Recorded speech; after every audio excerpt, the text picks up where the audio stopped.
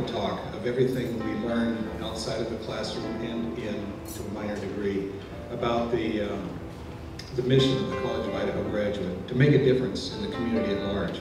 Ed and Martha have certainly done that. Um, Ed and Martha are both elementary ed graduates of the College of Idaho, as are Jane and I.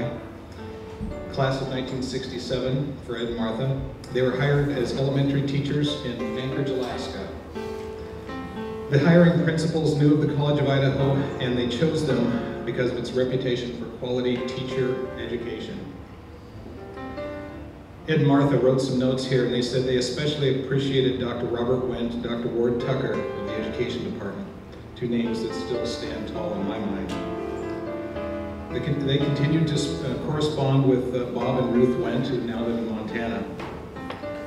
Ed and Martha sang the choir under the enthusiastic direction of Dr. Jim Gabbard and continue to sing in choirs to this day. At the college, they fondly remember experiences such as singing with Dr. Robert Shaw and dancing with Duke Ellington's band.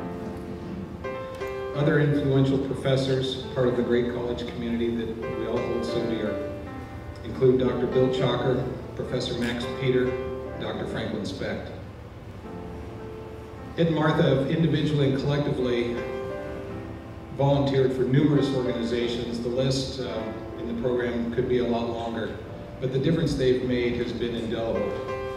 Um, one of their pride and joys, I guess you could call it, is the Kessler Keener Lecture Series.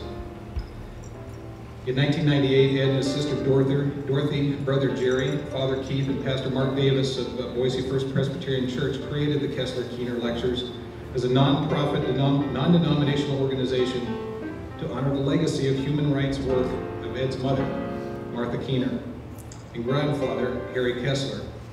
And Harry Kessler also has a scholarship here at the C of I in his name. To date, the Extraordinary Witness lecture series has produced 11 successful events promoting, providing thousands of Idahoans with opportunities to be inspired by people known nationally and internationally for their work in human rights, peace, and justice. We are humbled and grateful for this award. Ed and I graduated, as you can tell by our hair color, before computers and before Google, even before air quotes.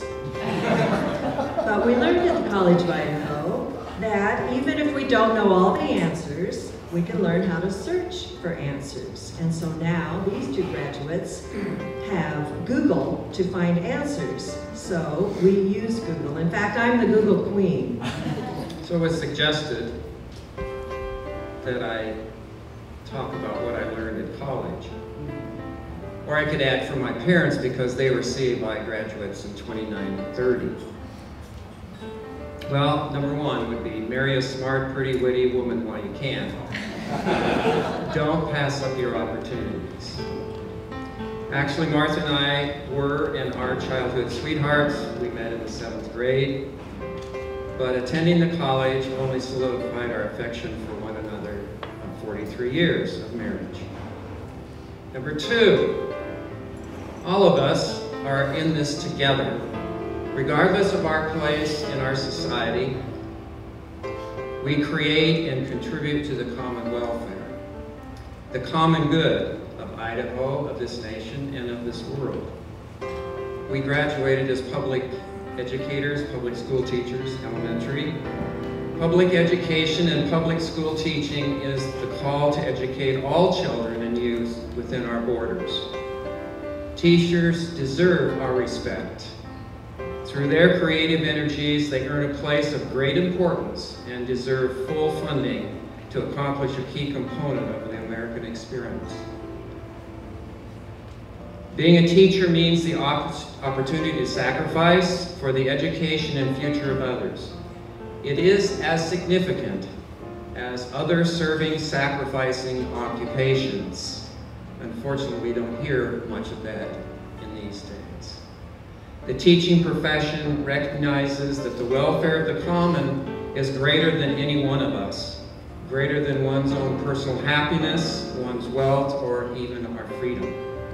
This common good creates equity and dignity for all persons regardless of their ethnicity, regardless of their country of origin, their economic status, whether they're documented or undocumented, whether they have dark skin or light skin.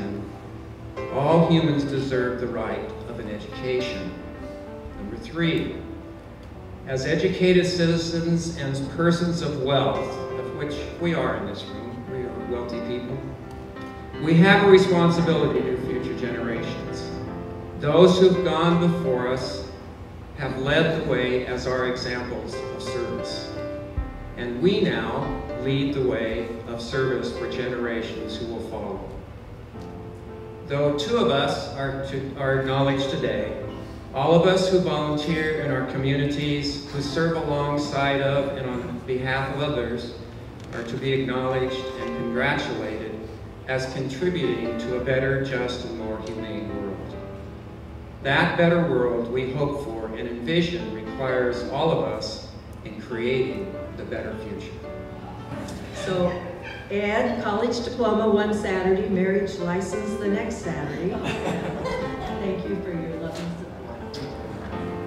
We are so very pleased, we are so very pleased With this award.